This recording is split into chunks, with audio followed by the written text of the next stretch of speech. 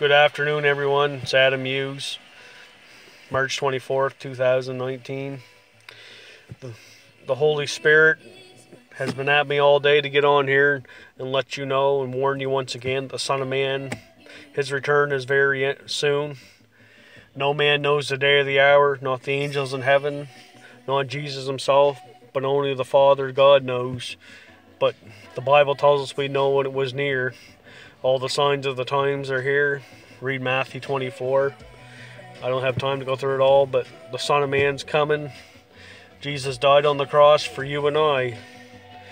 They spit in his face, beat him, whipped him, throw spikes through his ankles and his hands and his wrists, sorry.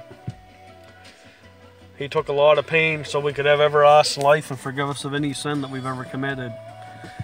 There's not much time left, folks. We're in the last days. We're going to spend eternity in one place or the other. That's either heaven or hell. We all make mistakes. We need to repent daily. You know, like I thinking the other day, there's not a lot of uh, people that, uh, you know, rapture videos and videos about Jesus don't get a hundred million thousand views or whatever. I got thinking when the rapture happens,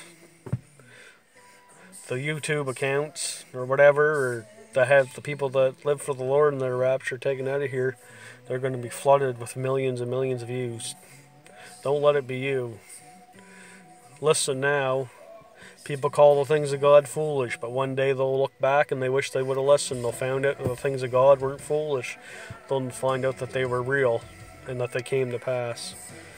Everything in the Bible will come to pass, whether you believe it or not.